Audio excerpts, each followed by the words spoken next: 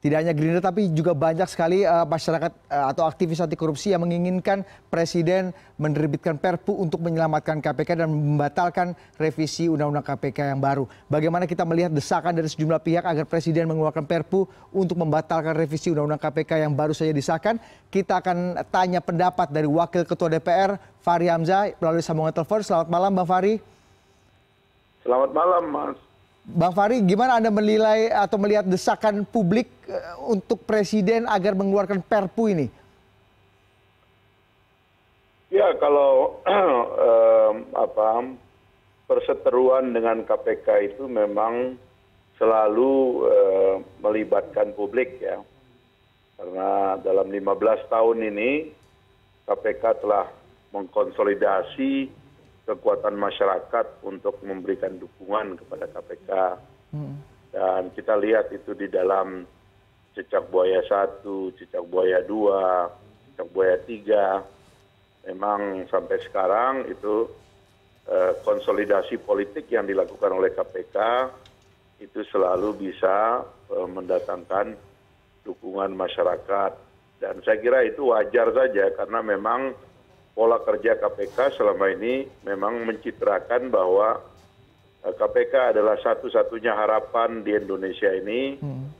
Kan dianggap semua lembaga lain itu sudah tidak punya harapan lagi.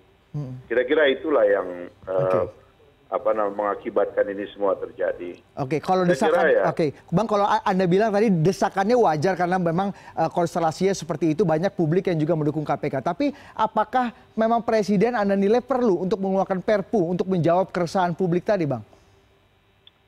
Semua ini kan berbasis kepada cara berpikir ya. KPK menganggap KPK mereka adalah indikator dari perbaikan ekonomi iklim investasi dan sebagainya. Tapi di sisi lain kita menemukan tidak menolong ya kan? Bahkan kalau dilihat angka angka terakhir kita ini sesungguhnya tidak membantu ya kan? Kita semakin banyak utang fdi semakin tidak apa namanya turun ya kan negara kita semakin tidak menarik. Dan saya kira ini juga bagian dari cara berpikir ya yang sebenarnya kalau diletakkan secara fair dalam satu pertarungan ide itu tidak ada masalah. Tetapi kan akhirnya jadi pertarungan politik gitu. Bang Fahri, jika memang nanti presiden memakai hak konstitusinya gitu, konstitusionalnya untuk mengeluarkan perpu seperti yang diinginkan banyak sekali aktivis anti korupsi gitu Bang. Apa dampak politik tata negara dan juga mungkin konstelasi terkininya dalam beberapa waktu ke depan Bang jika memang presiden akhirnya menuruti meskipun tadi sudah menyatakan akan tetap atau tidak akan mengeluarkan perpu tapi kan kita tahu politik bisa saja berubah gitu Bang. Apa yang akan terjadi jika presiden mengeluarkan perpu dalam pandangan Abang? Ya akan terjadi ya seperti yang sudah terjadi 16 tahun ya kan. Nanti ada cecak buaya lima, cecak buaya enam, cecak buaya tujuh ya kan. Karena KPK tidak kunjung menjalankan tugasnya untuk mengkonsolidasi sistem. Dia membangun kekuatan politik sendiri. KPK menjelma menjadi partai politik ya yang tidak sama sekali menggambarkan ketertiban dan ketaatan sebagai aparat sipil negara sebagai lembaga negara.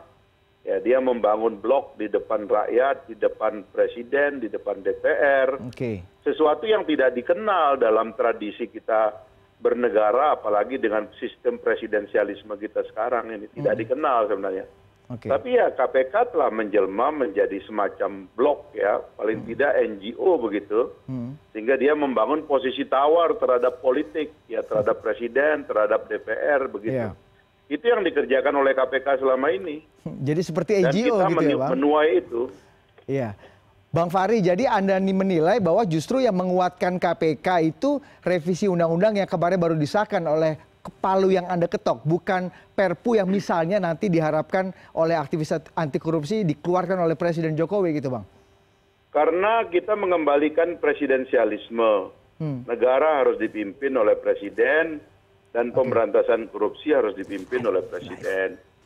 Nah, presiden yang dipilih rakyat dengan ongkos 25 triliun, maka presidenlah yang harus bertanggung jawab untuk mengkonsolidasi orkestra pemberantasan korupsi pada seluruh lembaga negara. Sehingga pemberantasan korupsi itu uh, cepat, bukan kayak sekarang 16 tahun ya begini-begini aja. Iya. Ya kan tangkap sana, tangkap sini, tangkap sana, tangkap sini, gitu. Bang Fahri, kita beralih ke informasi yang lain. Ini tadi kita Perpu sudah kita bahas, Anda sudah memberikan perspektif Anda. Ini kita punya gambar terbaru Bang, situasi di uh, gedung parlemen sendiri. Hari ini aksi mahasiswa ramai sekali uh, mengepung anggota uh, mengepung apa namanya kompleks parlemen sendiri dan saat ini Bang kondisinya salah satu uh, apa namanya pagar di kompleks parlemen di depan uh, gedung parlemen sendiri sudah uh, roboh Bang atas aksi uh, mahasiswa hari ini anda punya komentar bang soal ini, aksi hari ini? Uh, hari ini kebetulan nggak ada paripurna, hmm. yang ada hanya rapat konsultasi dan rapat uh, rapat-rapat tingkat satu yang memang setiap ujung dari masa uh, persidangan itu selalu ada semua lembaga negara begitu ya, hmm. selalu ada yang perlu dikejar karena sudah akumulasi pekerjaannya sekian lama dan akan dituntaskan. Tapi hari ini nggak ada paripurna, hmm. ini hanya ada rapat-rapat kecil, rapat-rapat komisi yang okay. uh, kira-kira uh, mungkin kalau ada kesimpulannya akan diparipurnakan besok dan hmm. lusa yang sudah terjadwal. Oke, melihat aksi mahasiswa baik di gedung DPR di Senayan dan juga banyak sekali daerah di Yogyakarta, di Malang, di banyak sekali daerah yang uh, intinya adalah menuntut uh, apa namanya uh, dibatalkannya revisi undang-undang KPK atau ditundanya rancangan KUHP. Anda melihat aksi mahasiswa, gelombang aksi mahasiswa di banyak daerah termasuk di kantor Anda di Senayan ini seperti apa Bang Fari?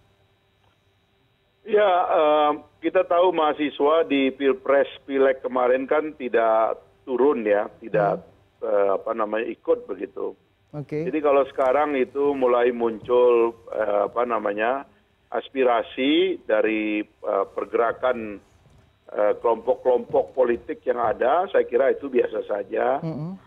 dan tidak ada yang sulit untuk dikomunikasikan, ya kan? Undang aja tokoh-tokoh mahasiswa, mudah-mudahan yeah. mereka bisa memberikan penjelasan apa mendapatkan penjelasan yang baik kira-kira begitu. Pimpinan DPR sendiri sudah berdialog belum bang dengan uh, mahasiswa pada hari ini? Kalau kita uh, lihat tadi, sampai uh -uh. tadi ada beberapa yang sudah berdialog tadi. Saya kira uh, saya juga sudah mengatakan tadi kalau ada yang ingin dialog sama saya, okay. saya siap untuk berkomunikasi. Pintu Anda terbuka ya bang ya untuk berdialog dengan teman-teman mahasiswa ya. Kalau sampai malam hari ini bang ini dari gambar yang kita terima baru saja apa namanya aksi masih berlangsung. Ada beberapa pagar yang roboh kita lihat lihat ada beberapa ada gejala eh, sedikit kericuhan atau uh, bentrok sedikit antara aparat keamanan dengan mahasiswa. Uh, gimana Anda melihatnya Bang Fari? Situasi terkini di depan kantor Anda ini. Ya, saya apa saya ini demonstran ya. Saya tahu apa batas-batas kegiatan demonstrasi dan saya kira uh, ujung-ujungnya kan masuk ingin dialog. Hmm ya kan bagus juga kalau mereka demo besok kemudian ada dialog komunikasi saya kira hmm. itu uh, harus terlaksana dan okay. memang begitulah antara uh, masyarakat mahasiswa khususnya yeah. sebagai elemen kritis harus diberi tanggapan apa yang ya. mereka pikirkan. Melihat ya. kon melihat konstelasi satu dua hari terakhir, bang, besok rencananya akan ada aksi yang juga tidak kalah besarnya di uh, kantor anda di gedung Parlemen Senayan uh, ada rencana-rencana khusus atau treatment khusus bang untuk bisa berdialog mungkin atau uh, menampung aspirasi mahasiswa? Karena kalau kita lihat hari ini udah beberapa pagar yang jebol gitu bang Fari ini ada di, di, di, ada dipikirkan secara khusus nggak bang untuk bisa menghandle situasi ini? Kalau menjebol, uh, saya nggak kebayang ya. Karena biasanya selama ini uh, mereka ngurim utusan lalu Eh, didialogkan ya. sehabis berdialog ya ada kesepahaman kira kira begitu ya. Ya. Apa tanda tangan kontrak atau apa begitu.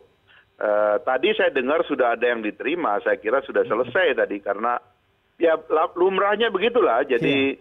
mahasiswa datang ngirim utusan berdialog lalu kemudian uh, kesepakatan lalu bubar begitu saja. Kan proses aspirasi yeah. itu kan berhenti pada dialog uh, apa namanya lisan kan. Saya kira kalau ada pengerusakan pagar segala macam saya nggak tahu itu Oke, Anda lihat apa yang memprovokasi mahasiswa jika tadi sudah diterima gitu dalam di dalam kemudian sudah diajak berdialog, apa yang kemudian membuat eskalasinya terus memanas di depan uh, kantor Anda Bang ini Bang. Ini kalau kita lihat dari kalau Bang Fari bisa melihat layar CNN Indonesia ditampilkan gambar masih banyak mahasiswa, ada ada ada ada apa gerbang yang sudah uh, roboh gitu Bang salah satunya.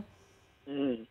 Saya kira kalau terjadi eh, radikalisasi seperti itu, mm -hmm tetap harus dicari apa alasan yang uh, sesungguhnya membuat okay. mahasiswa merasa uh, tidak terdengar atau tidak didengar begitu ya. Mm -hmm. Sebab setahu saya semua proses sosialisasi masuk okay. kampus juga. Baik dan kita selama ini berbicara dengan teman teman tidak ada masalah. Kalau ada yang uh, radikal seperti itu saya kira eh, ya silakan aja pihak keamanan. Kan itu kan objek vital DPR itu.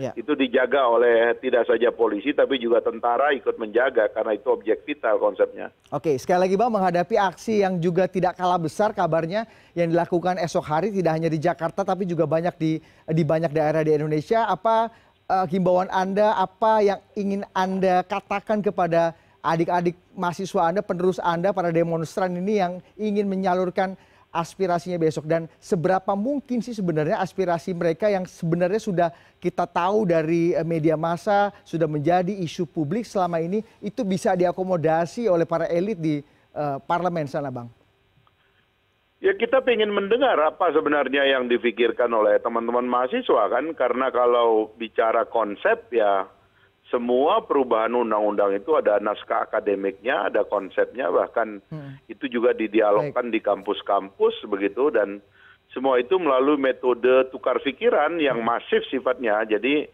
uh, kita selalu ingin mendengar kalau ada perbedaan pendapat, ada pikiran yang uh, mau dimasukkan, apa sih yang mengkhawatirkan sampai betul-betul kayak mau ada apa kiamat atau apa begitu kita tetap bisa dialogkan kok nggak ada yang rumit kita semua ini kan demonstran dan kerjaan kita dari dulu memang bertukar figuran dan berdiskusi yeah. saya kira nggak ada masalah baik jadi pintu pimpinan DPR pintu Fahri Hamzah terbuka untuk berdialog hmm. dengan mahasiswa ya bang ya dengan aspirasi-aspirasi mereka dalam beberapa waktu ke depan Baik. Pastilah kalau itu saya kira saya kita siap untuk mendengarkan apa yang dipikirkan teman-teman. Terima kasih Bang Fahri Hamzah atas ya. waktunya ya. kepada CNN Indonesia.